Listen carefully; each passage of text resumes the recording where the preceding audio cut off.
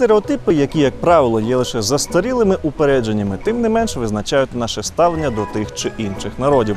Наприклад, про німців ми знаємо або думаємо, що знаємо, що вони працьовиті, пунктуальні, але почуття гумору у них недорозвинене. Про останнє ми ще поговоримо згодом. А сьогодні пролімо більше світла на обставини щодо іншого стереотипу. Усі німці обожнюють собак, ладні гуляти з ними по тричі на день, навіть посеред робочого тижня. Та головне суворо дотримуються правил вигулу домашніх улюбленців. Правила ці дуже жорсткі, а штраф за їх недотримання здатний створити чималу діру у сімейному бюджеті середньостатистичного бюргера аж до 600 євро. У кожній із федеральних земель вони дещо різняться. Однак є і залізобетонні правила. Наприклад, бійцівські потенційно небезпечні породи собак завжди виголюють на поводку, у більшості земель у намордниках. У багатьох власнику потрібно отримати права на вигул, так звані Hundeführerschein.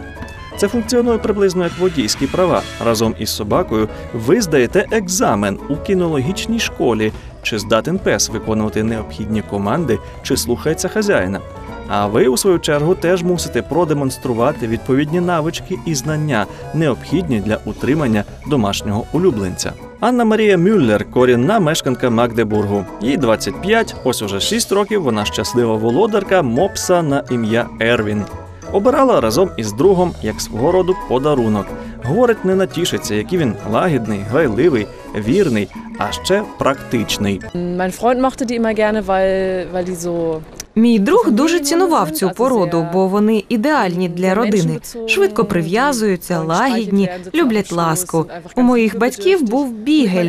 Він звичайно більший, але як на мене, практичніше мати маленького пса, якого у випадку чого можна взяти на руки.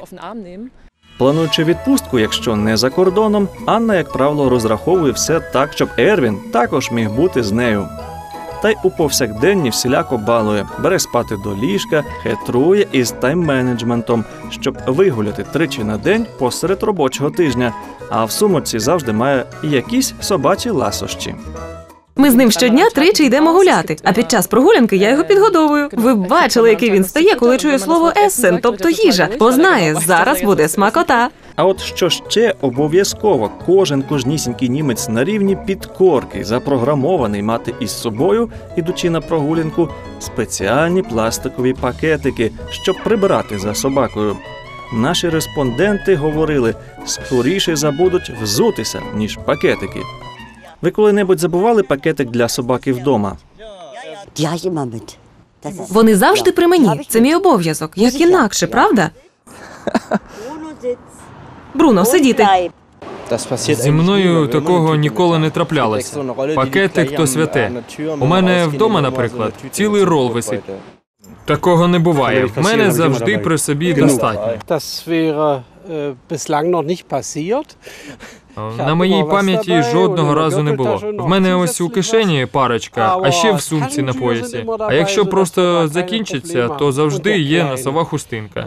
Та й погляньте на цього малого. Він робить не ковбаски, а такі міні-сосиски, розумієте?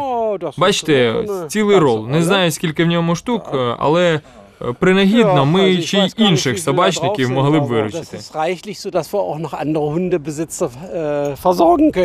Äh. Бачите, такий в мене поводок. Вони одразу тут. Отож, стереотип, який ми в Україні маємо щодо німецької законослухняності, на 100% виправданий, принаймні що стосується вигулу собак. А от у деяких містах навіть про забудьків піклуються. У парках є спеціальні контейнери із дармовими пакетиками. Зазвичай у великих містах, у парках ви можете помітити контейнери, де можна взяти пакетик. Я не знаю, чи є таке в Магдебурзі. Я тут в гостях, але у нас в Бремені є. Це точно. Пес це не тільки вірний друг, це відповідальність. Ось як до цього ставляться німці. Тому до всього перерахованого вище усі власники собак платять окремий податок, а в міському транспорті і поїздах на собаку купують окремий квиток за вартістю як дитячий.